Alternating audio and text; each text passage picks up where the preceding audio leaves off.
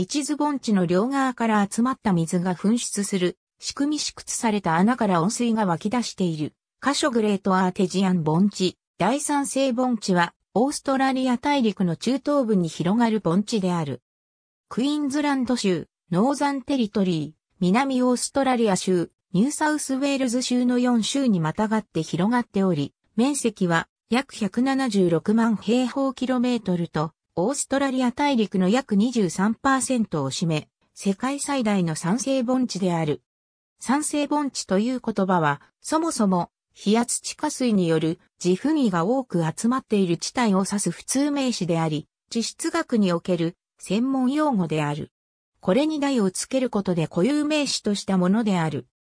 盆地の大部分が砂漠気候もしくはステップ気候に属しており、年間の降水量は 500mm に満たない程度であるが、地下には64,900キロ立方メートルの地下水が蓄えられていると推定されており、乾燥した内陸部の貴重な水資源として活用されている。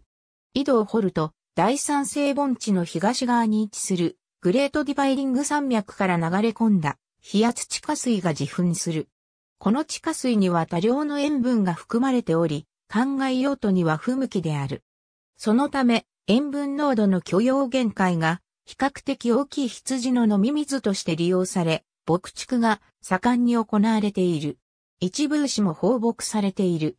The Great Artesian Basin。Facts、Water Series、Queensland Department of Natural Resources、and Water、2008年3月26日閲覧。ありがとうございます。